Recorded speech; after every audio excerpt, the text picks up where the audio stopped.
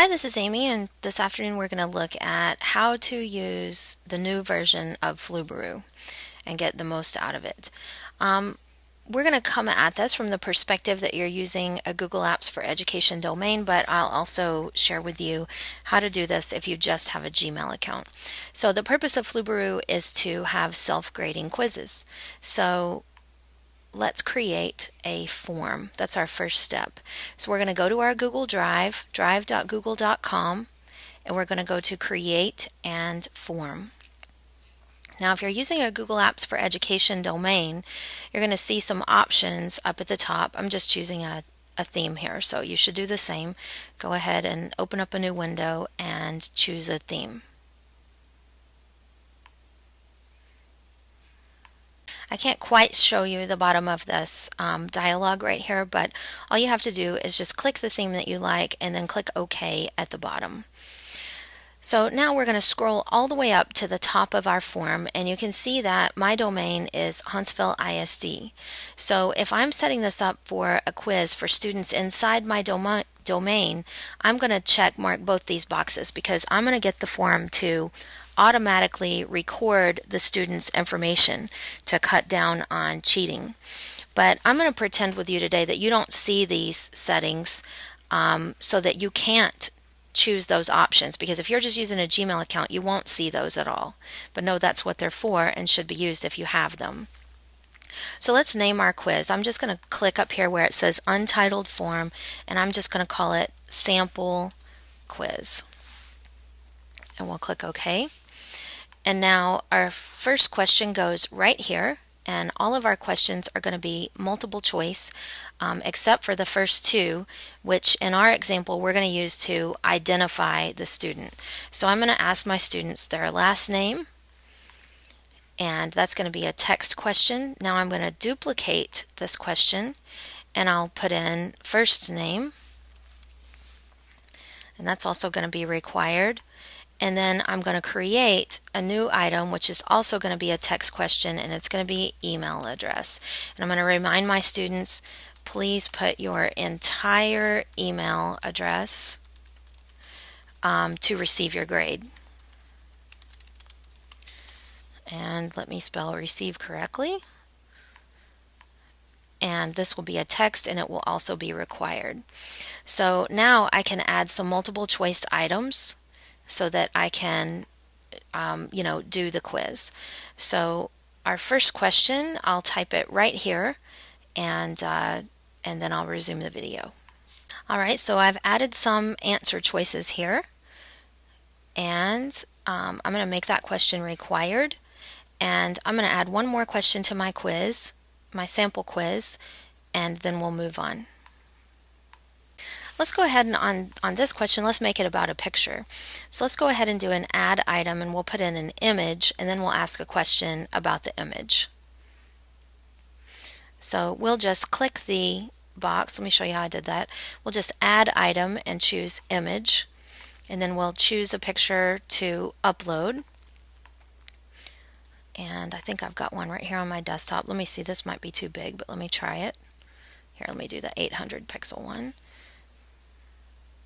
and then we'll ask a question about the picture. All right, so um, we'll call it grades and learning, and uh, we'll put that in the hover text too. And then our next question, we'll do done.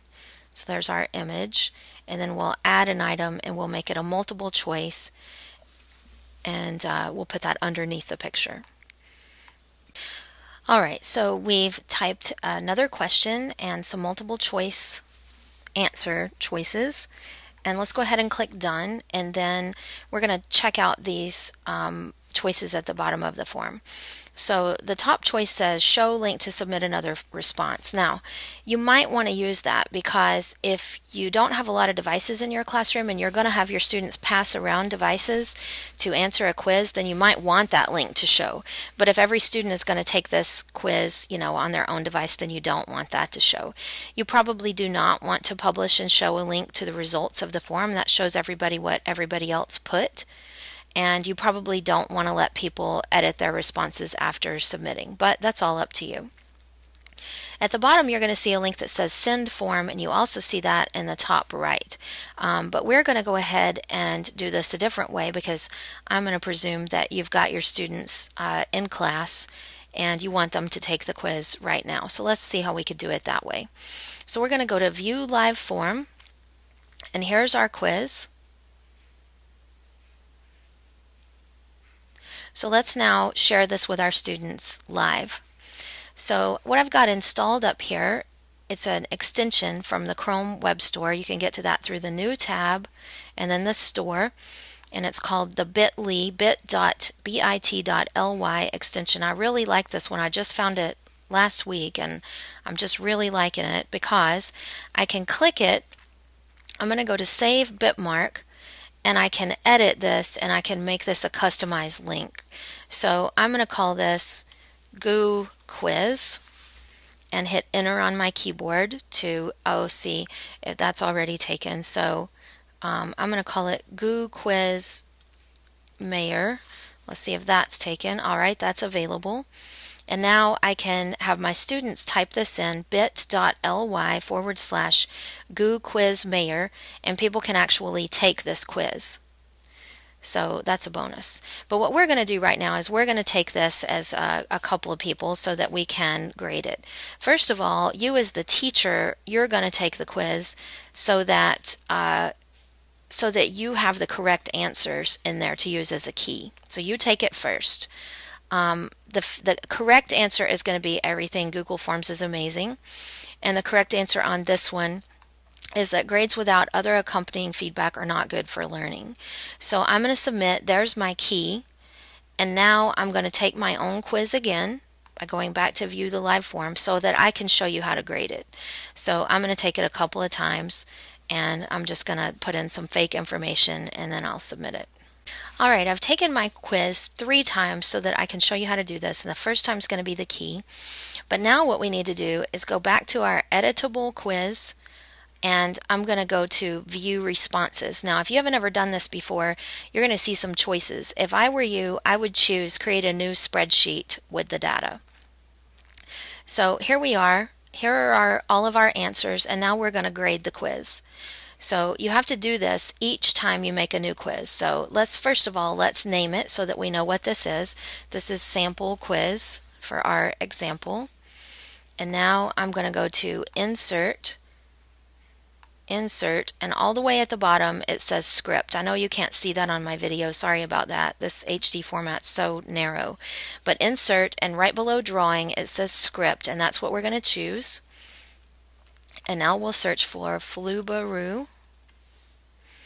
And here it is. We'll install it into our spreadsheet. We've installed it now and we're probably going to have to go to grade assignment twice because we'll have to okay some permissions. Uh, so when you do it, you may see some permissions that you need to say okay to. Go ahead and do that and then come back again and go to Flubaroo grade assignment. All right, it's going to ask me to authorize it too. Good, so you can see what it looks like. I'm going to choose the account that I'm logged into right now. Click accept. All right, now let's try it again. Flubaroo grade assignment. All right, step one. What do the columns mean that we've got um, chosen in Flubaroo? Well, the first one does identify the student. The second one identifies the student. Actually, this one is null. I'm not sure why it put that in there. We don't need that. Um, it's There's nothing in that column. And email address also identifies the student. And we'll ask for one point for each of our questions, and then we'll scroll down to the bottom of that dialog and click Continue. All right, now we it wants to know which one should be used as the answer key. Well, it's actually this one right here because this is when I took it. There's my name. So I'll click Continue again at the bottom of the dialog.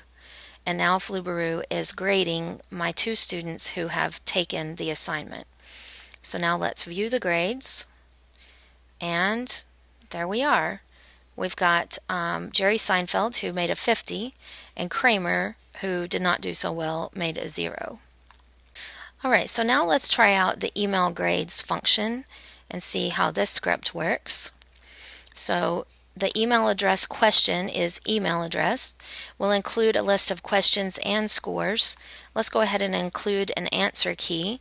And you know what I'm going to do? I'm going to go take it another time with an email address that works so we can see what the email looks like. So hold on just a minute while I do that. All right, so I took the quiz a third time as Annie and then regraded um, my student submissions. I just went back to Flubaroo and I chose regrade assignment. And now I'm going to email the grades so that we can see what that email looks like when it comes through on the other side. So this is correct. Email address question is email address.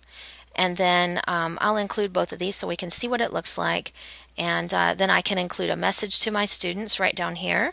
So I'll type um, retakes are tomorrow at 3.30 if you need one.